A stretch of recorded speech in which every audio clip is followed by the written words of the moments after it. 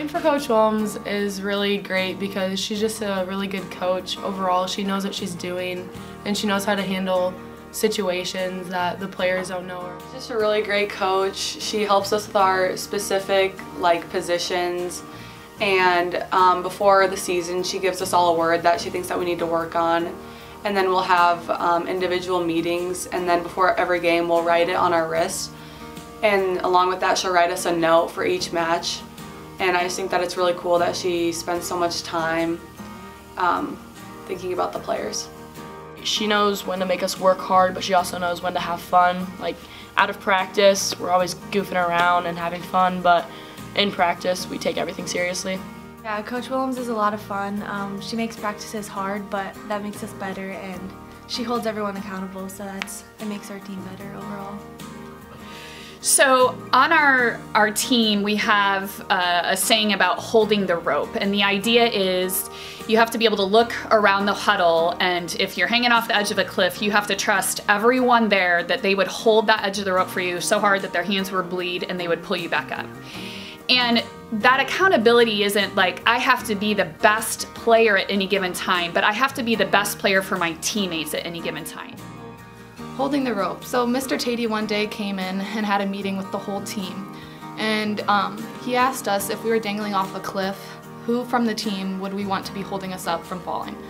And we all kind of just sat there and then he said, really it shouldn't matter who's holding you because you should be able to trust every one of your teammates. So really holding the rope just means that your teammates should be able to trust you and know that you'll do anything for them to make the team succeed, like running through a wall, diving after a ball, anything you can. Um, in being diagnosed with cancer in 2018, part of that process included going through four months of chemotherapy, which was undoubtedly the most difficult time for me as a person, both physically and emotionally. It's it's incredibly daunting, and um, you know I had I had a choice on how to approach that, and so obviously taking um, joy in working to be healthy for my family was my first uh, priority and enjoying them. But then it's also looking out of the why am I doing this? Willem's battle with cancer really encouraged the team because um, her battle just taught us like tough times are gonna happen, adversity is gonna hit, and like we experienced that during our season with those five set matches. And at the beginning, we really struggled. So I just felt like in the back of our mind, Willem's battle just kind of reminded us that bad things will happen, but you need to keep working and battling through them. I knew that we had the opportunity because of the skill that we had in the gym to potentially win a state title, but a whole lot of things have to go your way.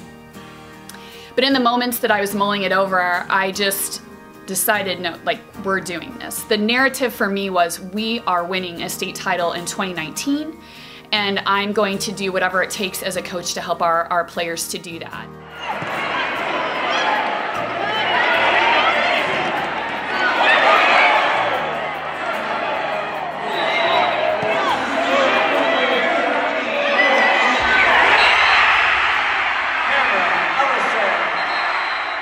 Along with our, our state quarterfinal and semifinal matches being five sets, also our regional semifinal and our regional final were five sets. And um, while I probably didn't think it at the time uh, because it was you know stressful and um, trying to help the players through a five set match and really kind of to change the game plan oftentimes in the match because something wasn't working we needed to change.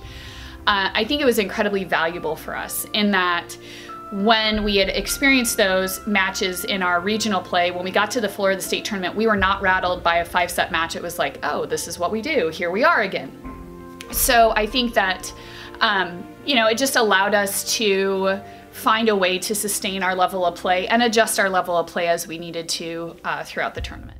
During our regional semifinal and final, it was really nerve wracking to go into those five sets because it's anyone's game at that point in the fifth set but we just wanted it more. And then when we played West Liberty and then Union, um, when it went to five sets, we knew that we were going to take it because we've been so used to it, and five sets was kind of our thing. Carroll Kuemper uh, was the defending state champion and kind of has been, you know, the top of 3A for several years. And uh, we, after, while we were playing, actually, our semifinal match, we were simultaneously taping them. And then um, we got home after we ate and spent several hours on match film, and we were able to really find a way to exactly match up our lineup the way we wanted to with them.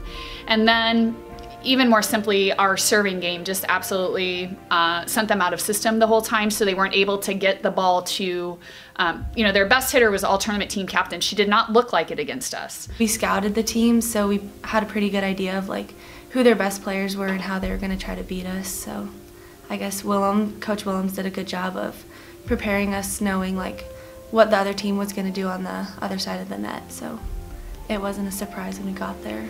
I mean, yeah, there were some nerves. It was a big stage, but really, like, I kind of just felt comfortable with the team. Like, I, I knew we were gonna do fine, especially after having two five-set matches at state and all the pressure. We were kind of used to it on the third day.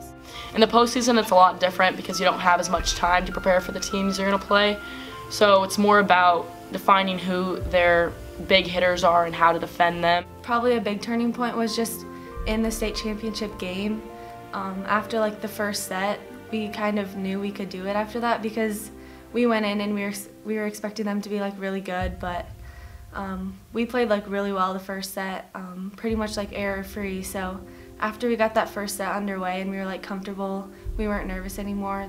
I think we just kind of realized we could do it and we did. To win this state title, especially after we'd like struggled, you know, in September, and you know, many outsiders probably were like, "eh, this probably isn't going to happen for them." Um, the truth is, I I had never lost confidence in them. I just had to keep helping them to play how I knew they were capable of.